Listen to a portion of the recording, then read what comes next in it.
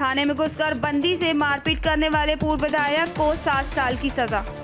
बसपा सरकार में विधायक रहते हुए कोतवाली की हवालात में बंद आरोपी से मारपीट करने वाले तत्कालीन विधायक हज़रत अला शेरवानी की को कासगंज के एसपी, एमएलए कोर्ट से दोषी मानते हुए सात साल का सशम कारावास की सजा सुनाई है। आपको बता दें 22 मार्च 2021 में तत्कालीन बसपा विधायक ने ढोलना थाना क्षेत्र के निकावा किनावा गाँव के रहने वाले शमशाद से कोतवाली ढोलना की हवालात में मारपीट की थी।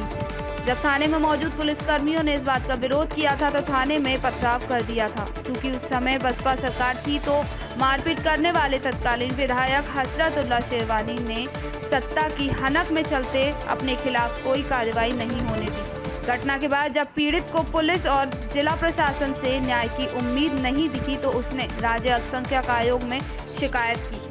जहाँ आयोग के आदेश पर तत्कालीन विधायक समेत नौ लोगों पर मामला दर्ज कर दिया गया।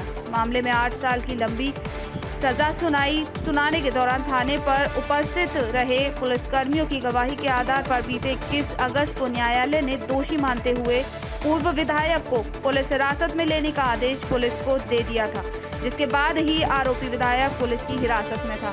आज एसपी एमएलए कोर्ट के जज गगनदीप भारती ने बसपा विधायक हसरतुल्ला शेरवानी व उनके सभी आठ साथियों को सात साल सश्रम कारावास सुनाई है।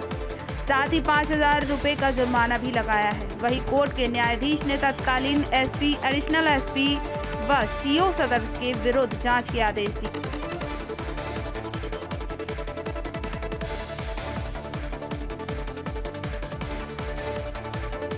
क्या था पूरा मामला? कितने दिन की सजा हुई है? बाईस पाँच ग्यारह को इरसाद थाने में बंद था ढोलना थाने में जिसे जो है विधायक के लोग गए और मारा पीटा और थाने से निकाल के दिया जो थाने पर उपस्थित लोगों ने विरोध किया, उपस्थित एसआई वगैरह ने, उस पर उन्होंने थाने पर पथराव किया, जिसकी उच्च अधिकारियों ने कोई शिकायत नहीं लिखने दी।